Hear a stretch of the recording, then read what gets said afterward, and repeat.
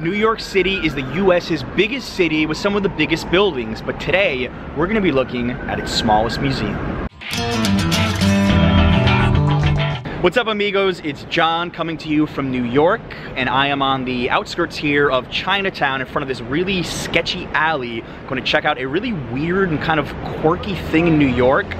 It's called Mmuseumm and it's billed as the smallest museum in the city. I'm gonna bring Adriana in and get her opinion on this. We've been to a lot of different places around the world. What do you think about the smallest museum? Uh, I don't know what to expect, but I want to see it. I have to say it's probably like the one place I would not expect to find a museum. It's just a random alleyway in Chinatown. This is it.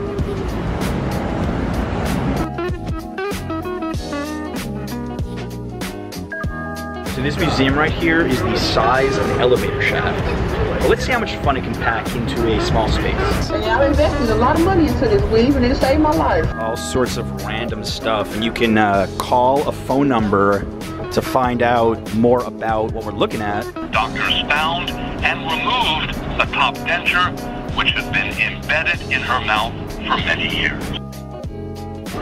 I'm curious about the A bra? All right, let's let's let's dial the number and find out more about the bra. Seven two zero six. Bra, Guangzhou, Guangdong Province, China, 2015. Dr. Han, a physicist of a local university, believes the underwire of her bra diverted the bolts from her vital organs.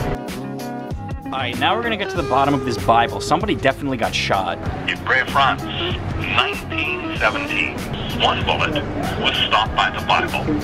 The other ricocheted and passed through Wilfred's collarbone. Number Saved by the Bible. Return to the main Donald Trump's aftershave balm. That's beautiful. Apparently this guy got struck by lightning while using a selfie stick. You don't have a selfie stick, do you? This is Allison. She works here and I mean there's so many random items. Which one's your favorite? So my favorite this season is actually test writing. It's right here behind me. You can see that someone went to different pen stores and took the notepads that people were testing out all of the different pens before they actually purchased them. And they're from all around the world. Uh, New Zealand. Yeah. This one's from Guam.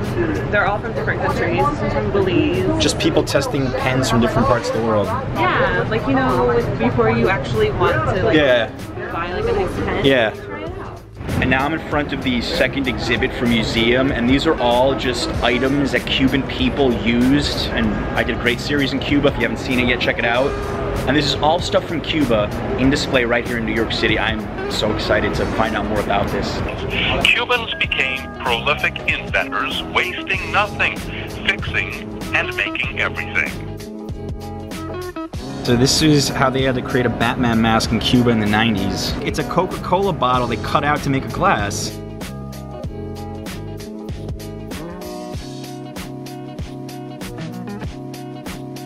Would you recommend your friends come here if they visited New York? Absolutely, like everything, the whole experience. As you walk here, you you know you don't imagine that you're gonna find a museum right here, and then you don't imagine you don't expect to get a small museum like that All right, all done. There is a $5 suggested donation for a museum, but it's up to you if you want to give money or not. I know I definitely did.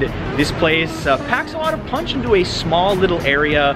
You can call in on your phone, as I showed you before, to get information about all of the exhibits there. You could totally spend 15 or 20 minutes just wandering around. All right, guys, be sure to subscribe to Here Be Barr if you haven't already. Give me a like and certainly leave me a comment telling me if you like this sort of content. I've got one month left in New York until the big trip, and I've got a whole lot of things in store. Thanks a lot for watching. Until next time. Let me know when you're ready. You're definitely, you're ready, you're ready.